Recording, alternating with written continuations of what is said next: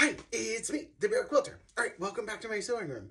Okay, so I will absolutely uh, tell you all about my starching process, um, but first a couple of things. One, um, not everybody uses starch. I happen to love it, but a lot of people do not. Um, so for those people, either they use an alternative like Best Press or some sort of sizing or uh, nothing at all. Um, some people wash their fabric, some people don't. I am not a washer and I am a starcher. Like straight up, those are the things. With all of that being said, do you have to starch? No. Uh, starching is not necessary for quilting. However, if you do starch, um, here's the one that I use and I love it.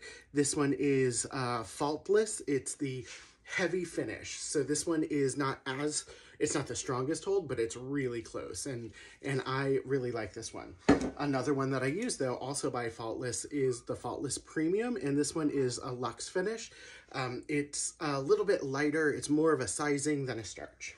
Now, lastly, I mentioned uh, sizing. This is Best Press. I buy it, when I buy it, I buy it by the gallon. I get a gallon like once every three years. I, I don't go through this very quickly.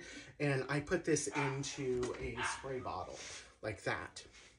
Um, and then lastly, if you're in the laundry aisle and you can find none of those things, I'm here to tell you that this kind of thing will work as well. Um, so this is essentially a sizing. Um, you want to use this lightly though, because it's really scented. Okay, so I have about a yard and a third of fabric here. I'm going to go ahead and starch it. So I'm going to use my uh, trusty can of starch and I'm going to start uh, spraying it.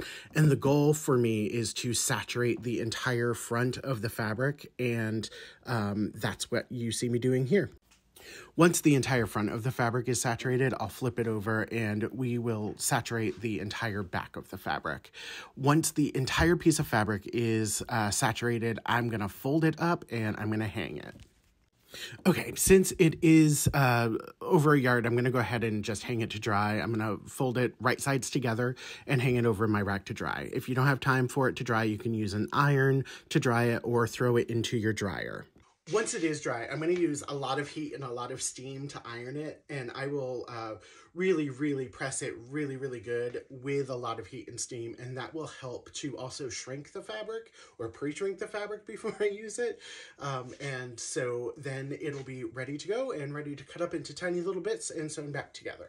All right, I hope this helps. Have a good one. Bye.